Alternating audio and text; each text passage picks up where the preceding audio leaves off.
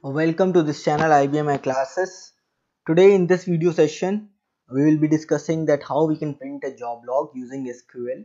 So IBM has provided us one stored uh, one SQL procedure which is present in uh, systools library uh, which is a db2 system library and that function procedure name is lprintf. So I'll be showing you that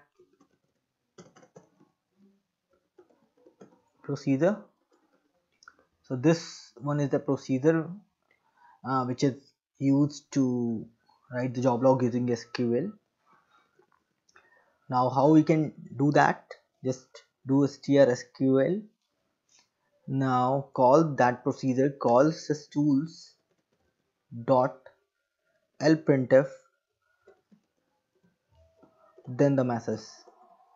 This is my job log message. Call statement complete. Dsp job log f10 shift f6 now we can see that this is my job log the message has been written to the job log using sql now i can customize my message message like today is say sunday. I can use concat and then function name DAYNAME. Then I'll be passing the current date. As a space a special register using special register current date to the function DAYNAME. And then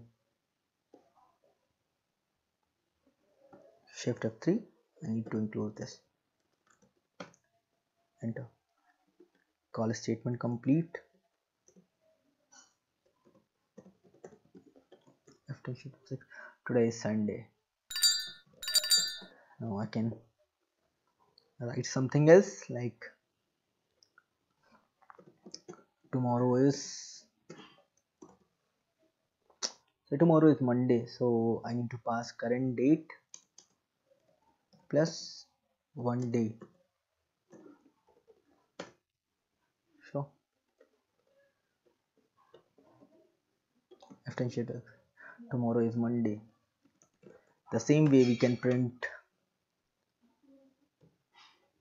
the day day after tomorrow is see today.